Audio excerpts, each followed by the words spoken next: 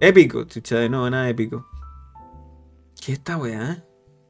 También se reconoce su participación en el pasado de nuestro país, siendo parte del gabinete ministerial del expresidente Pedro Aguirre Cerda, ejerciendo el cargo de ministro de Transportes del respectivo gobierno. ¿Soy yo? ¿Soy yo? ¿Quién hizo esto? ¿Me van a decir quién fue? Juan Olfo. A inspectoría. Juan Olfo, inspectoría. ¡Ay, hay otro! Roberto Espresso. Pasó meses fuera de las pistas por su... re- ¡Ay, es un expreso! Es un Suzuki Expreso.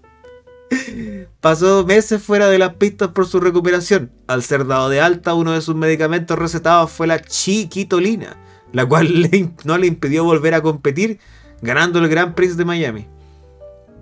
Después de su participación en el World Grand Prix, ingresó a la escudería Veridix en la Fórmula 1. En la imagen se le ve compitiendo en el Grand Prix de Mónaco.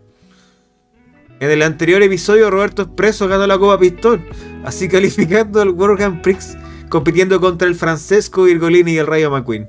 Lo que no sabe es que su amigo delantero Mauruti era un espía internacional. Después de ganar la Copa Pistón, Roberto Espresso compite en las 500 millas de Indianápolis. Oye, ¿qué- ¿cuándo se va?